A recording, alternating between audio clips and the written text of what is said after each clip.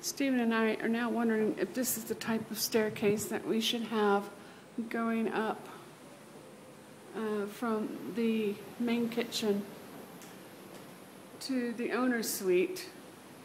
It would take up less room than the, our other idea of a staircase. And